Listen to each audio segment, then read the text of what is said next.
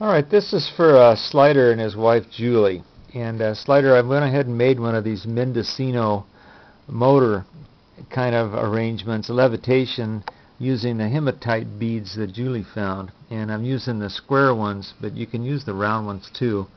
And then I got these magnets from Electronic Gold Mine, like you suggested, that have the hole in them, and they worked great.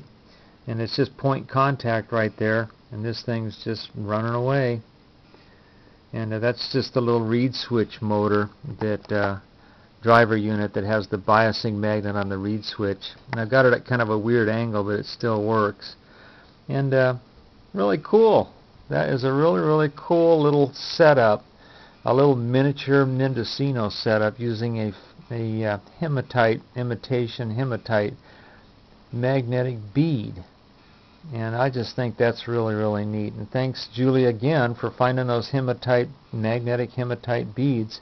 I found out Walmart had them on a bracelet, and they had them discounted for $2, but I forgot to pick them up. But uh, they are available at a number of stores.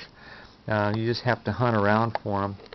And like I say, that makes a really, really cool levitated with point contact motor and I imagine S Smart Creations is want to get uh, want to get going on something like this too. A lot of fun. Thanks for watching.